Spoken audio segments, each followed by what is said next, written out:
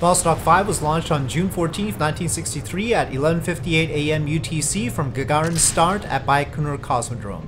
It carried Valery Bykovsky on a 4-day and 23-hour mission, which would include a rendezvous with Vostok 6, which launched two days later on June 16th at 9.29 am from the same launch site. This was essentially the same primary goal of Vostok 3 and 4, but this time the accuracy was to within 5 kilometers at the closest approach between the two craft instead of 6.5 kilometers, and more significantly, Vostok 6 carried Valentina Tereshkova, the first woman in space and the only woman to ever orbit solo. She was also the first civilian in space, having been chosen because she was an expert in skydiving, and that was required since the Vostok did not carry sufficient parachutes for a soft landing, and cosmonauts all had to bail out to reach the ground safely. As part of the cosmonaut corps though, she was technically an honorary member of the Soviet Air Force. Bykovsky in Vostok 5 was originally slated to spend 8 days in orbit, but solar flares, which could cause unpredictable effects, cut the mission short. It is still the record for the longest solo mission in orbit. He generally had a pleasant time, although he and Tereshkova both complained about their helmets and the layout of instruments. He also had a particular problem with his waste collection device, which didn't close properly, so he had a very unpleasant smell to deal with. After Tereshkova launched, they established contact for a while and Bykovsky said that Tereshkova sang to him, but visual contact was not established. Their orbital periods were different by about 10 seconds, but that was enough for them to gradually drift out of communication range of each other by the second day.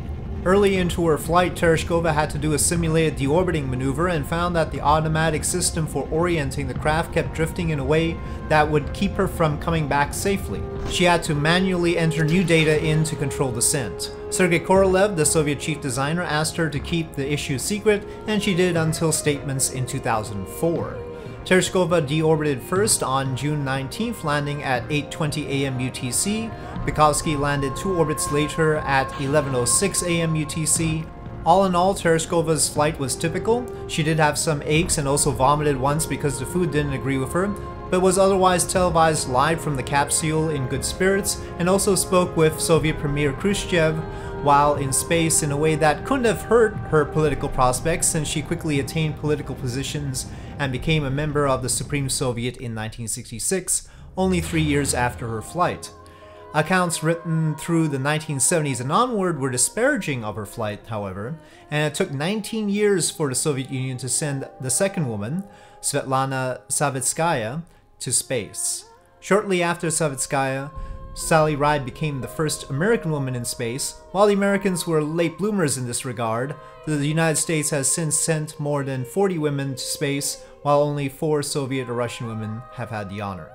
Valentina Tereshkova and Valery Bykovsky are both alive as of the making of this video, making them the last surviving astronauts or cosmonauts from this first phase of human spaceflight, all others launched in the Mercury and Vostok programs having passed away.